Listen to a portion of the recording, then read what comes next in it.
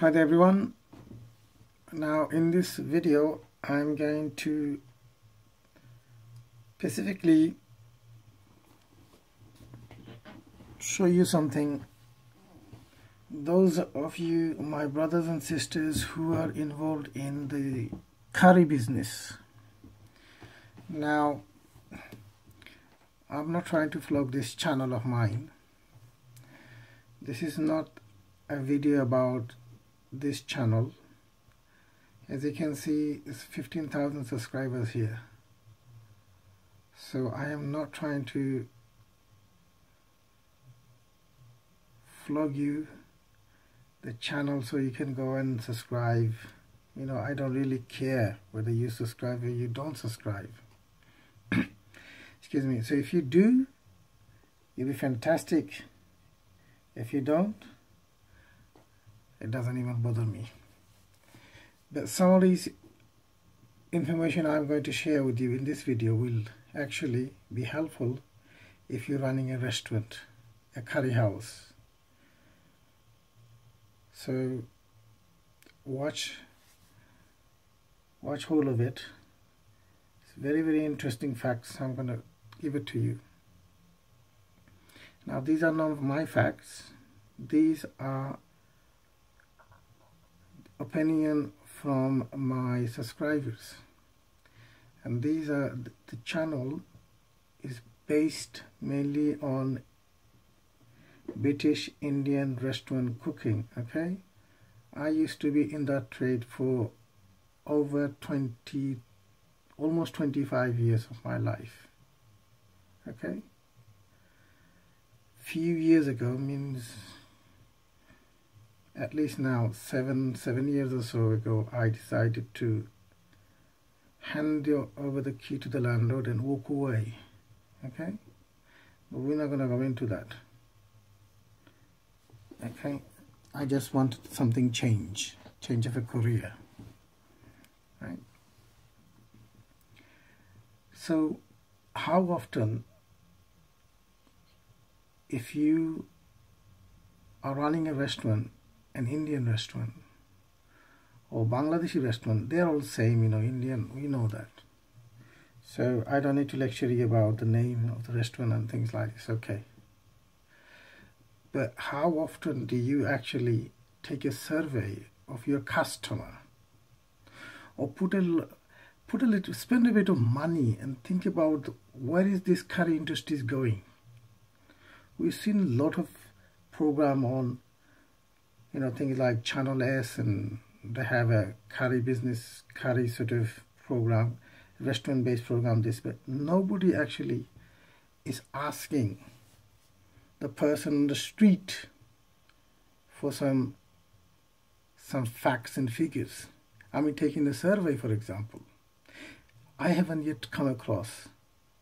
Channel has done a, a survey asking people, the customers, the people who go and eat inside the restaurant, what do they think about the industry rather than talking about you know, all the Bengalis get together in a program and they talk about, all the Siloti get together and they talk about sometimes useless nonsense.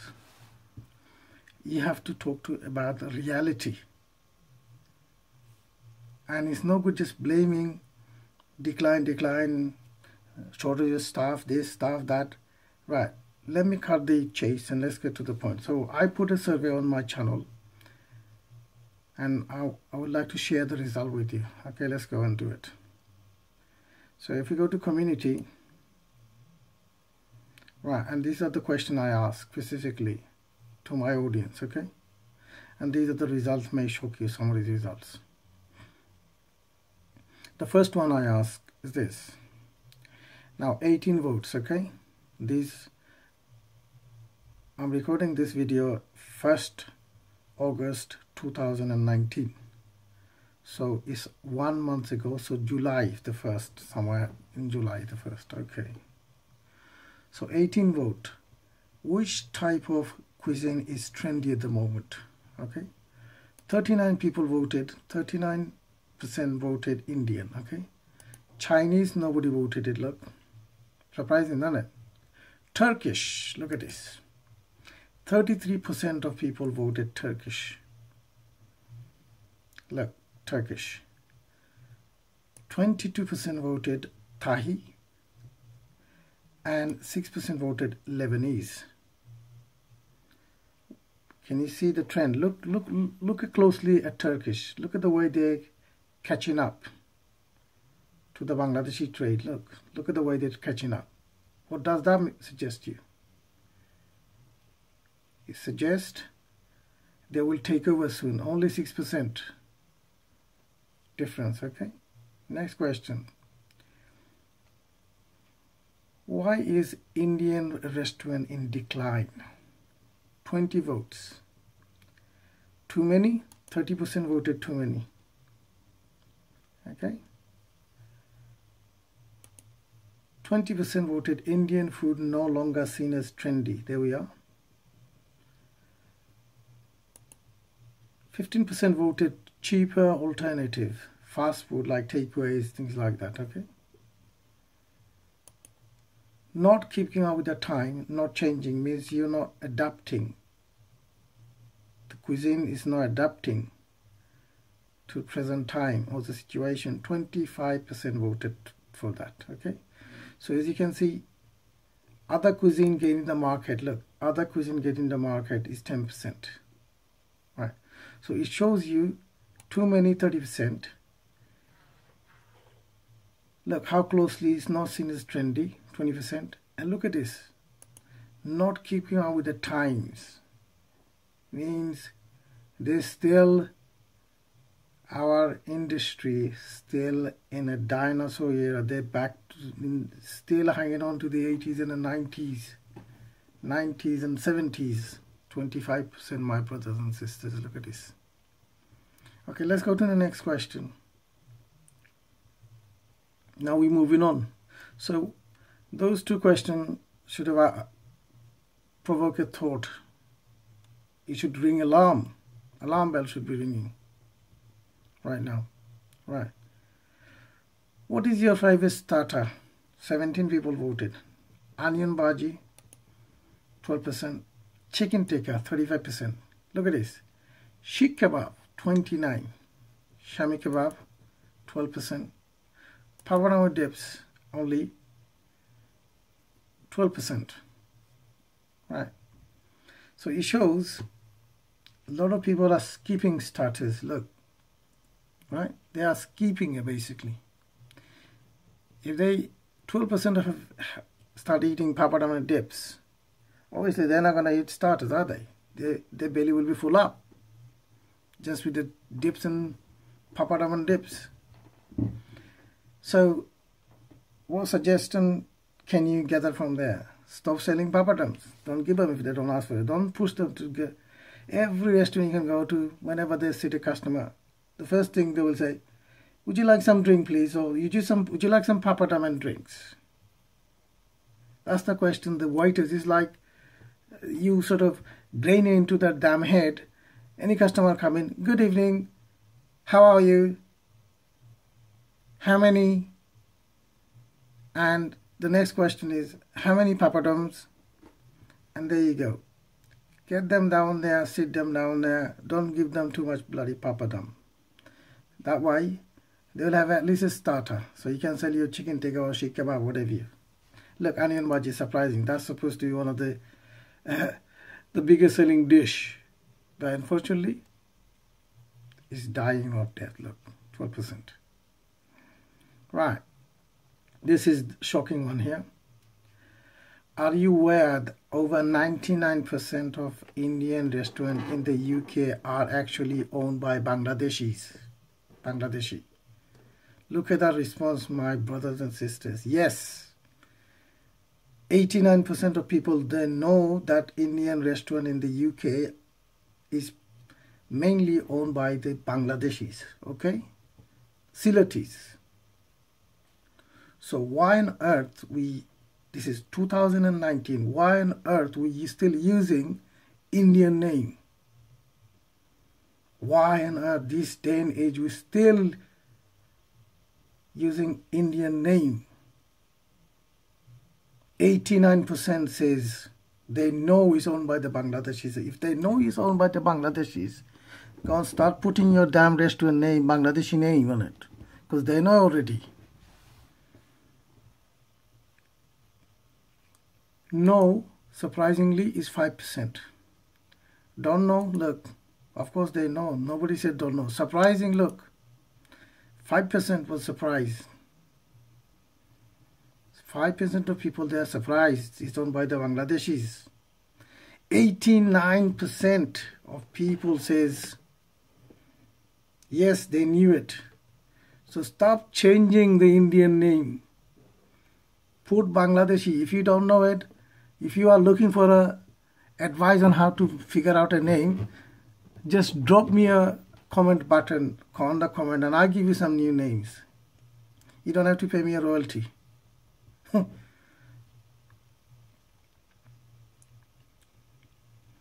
let's go to the next question. Okay, let's go to the next one. All right. Now it says, how often do you go to your local Indian Bangladeshi restaurant to eat? Nine voted, okay?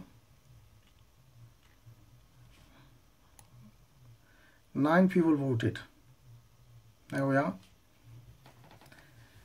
Once a week, 78% of people out of nine votes says once a week. Okay? Twice a week, 11%. Three times a week, nobody.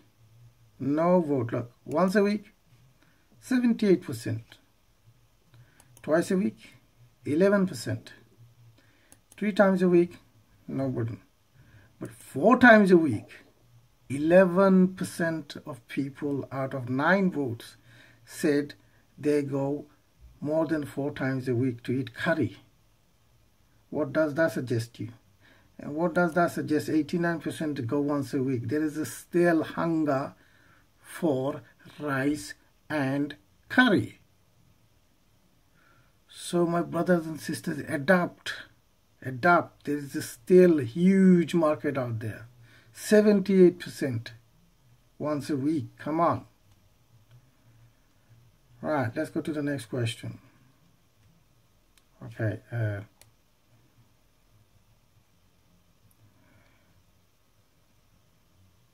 right. That's one of my videos showing down there. Okay. What type of rice do you prefer? Right. Okay. 12 voted. Basmati rice, of course, that's the only one sells in the damn restaurant. So basmati, 92% of basmati. 92% of basmati. Right. And plain boiled rice, plain boiled rice, white rice, 8%. But let me give you a little quick idea here. So many years I spent in, in the curry house game, okay? I never ever thought in my wildest dream I should be selling things like brown rice. Never come to me. Never come to me say I should be selling jasmine rice. Other types of rice available. Uh, we should be trying that kind of rice. Instead of our usual basmati or plain. We should start giving them other choices. Yeah, healthy. Right, basmati sometimes may come across as unhealthy or boil. Boil, that's why they go for boil. So give them brown rice. I probably never ever come across an Indian restaurant or Bangladeshi restaurant that has sticky rice. Give them sticky rice. That's another idea for you. Right, let's go. Alright, that's one of my viral video here. This is a uh, homemade beef burger I did recently, right? I went to just went to a Tesco, bought some of these halal burgers, right, and did a marked about in a video at my kitchen. Okay, within four four months, it went viral, fifty thousand, and so many comments. Anyway, I'm going off the subject. Go and check this one out. Okay. Right, next one. Right, the question is chicken vindaloo or chicken phal. 16 votes. Chicken Vindaloo very hot, we know this. Right, 88% said chicken Vindaloo. chicken phal, as we know, extremely is extremely hot curry, just chili powder and naga and all that malaki. Right, six percent said chicken phal. Right now here, chicken tindalu, which is extremely hot, full of naga chilies, painful, six percent. All right. All right, let's see what we got. Oh, it's another traditional cooking. This is a village cooking I did a couple of years back. I went back home and I did one. This got 416,000 viewers. Okay, check this one out. You may like it. These are cooking in a normal, you know, the usual traditional way. Anyway, right. The next one is right. Your favorite Indian dish. 10 votes. Saag aloo, spinach and potato. 40% voted for spinach and potato. Bombay aloo, 20%. Tarka dal 10. Vegetable curry nobody voted. Chickpeas, look, chana masala surprised me. Veggie curry surprised me, nothing, nobody. Chickpeas, for example, they really surprises me. 30% chickpeas. And saag aloo at 40%. So which means, look, if you're not doing chana masala in your restaurant, start doing it, my brothers and sisters. Bombay aloo is always popular, we know this. Saag aloo is popular, we know this. I was surprised in me chana chana masala. There, there you go. Right. Now, what is your favorite Indian dish? Or Bangladesh? I should have put it on Bangladeshi dish anyway. Of course, we know chicken tikka masala at 19%, chicken korma 6%. Uh, uh, look at this. Chicken dansak. 16 people voted, by the way. Chicken dansak at 25% chicken dansak, 25% chicken vindaloo, and lamb karahi at 25%. All of them, look at this, take a look at this. So then you not think you should be concentrating more on chicken dansak, lamb karahi?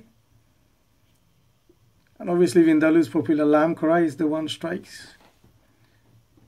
Korma, look, he's dying of death, dying slow death.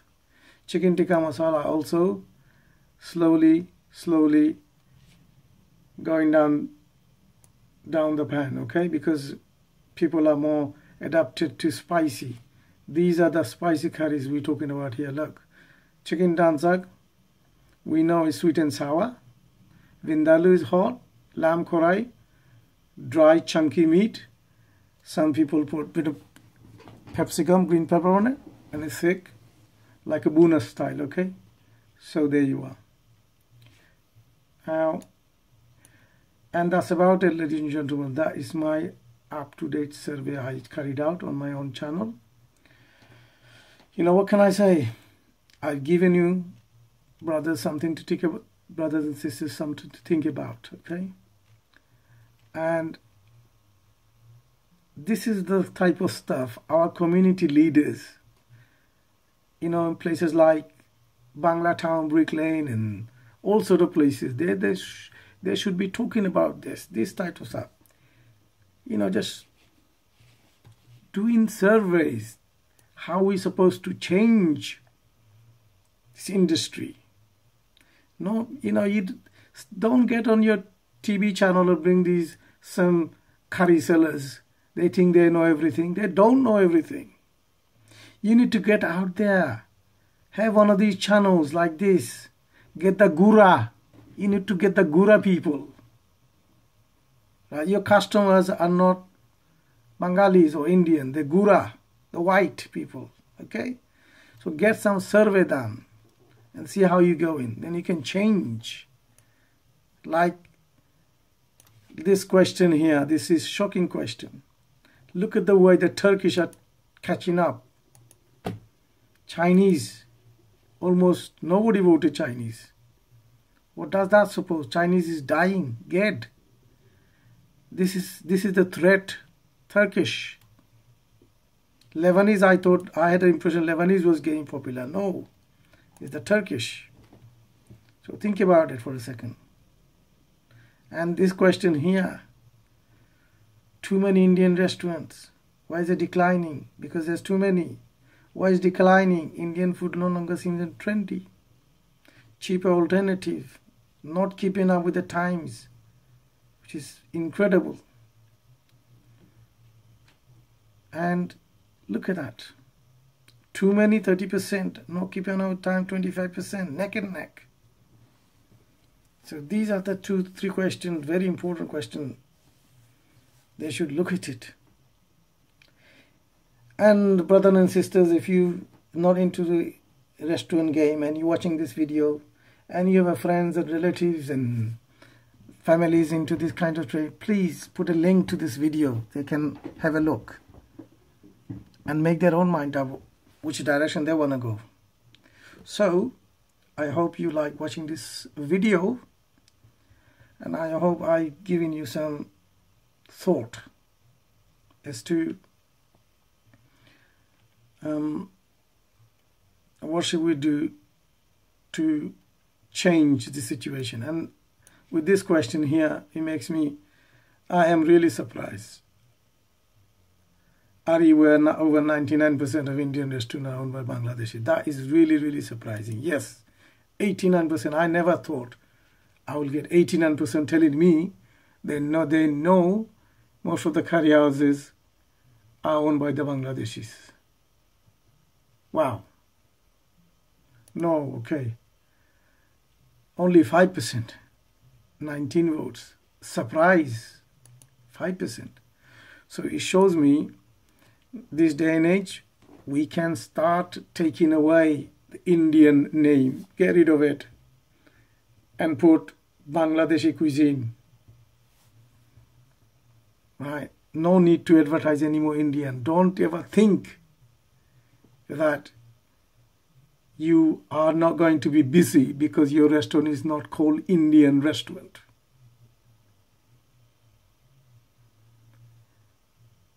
Just somebody who's starting a restaurant, just put up, just put BangladeshiCuisine.com, Bangladeshi cuisine, just put Bangladeshi cuisine, and that's it. You don't need to put anything else.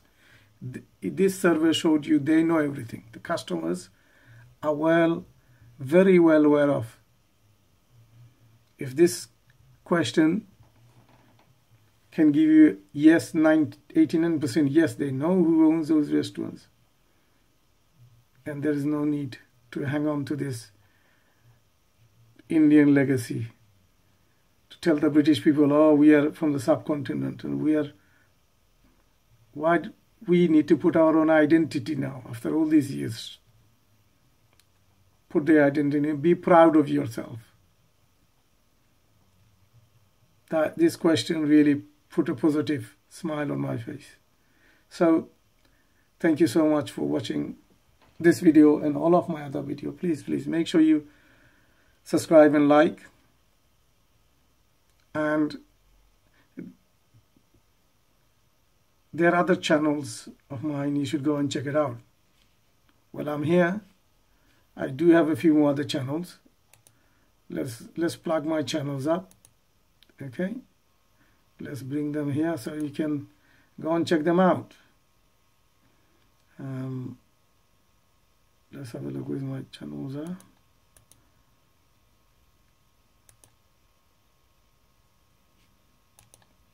even I'm, I'm struggling. What's happening now?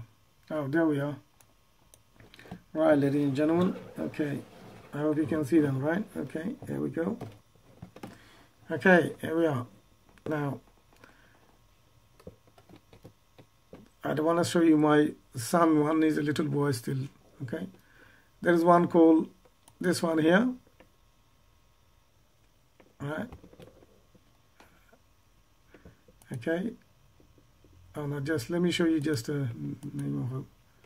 So you can go and check them out.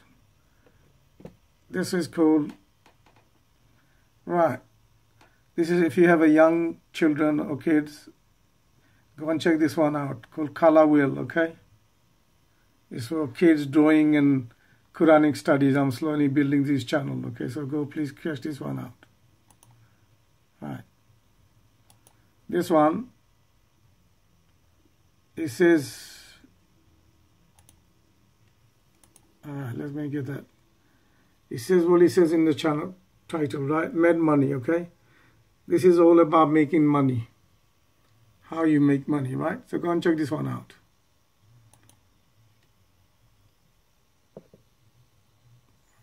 Okay, what is the other ones? Uh, a lot of these.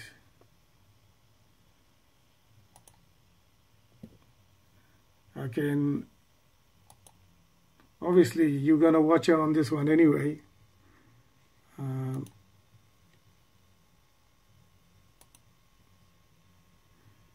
uh, look at this. It's a lovely.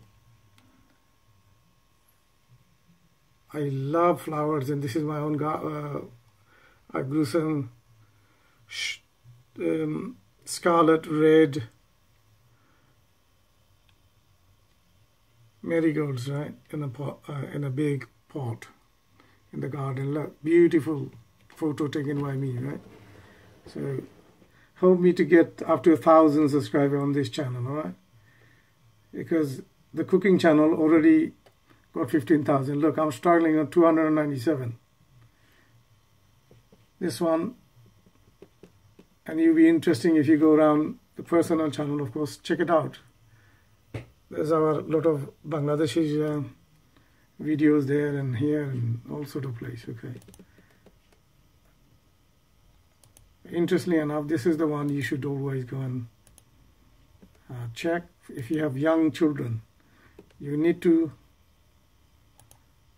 you really need to get them going on this channel.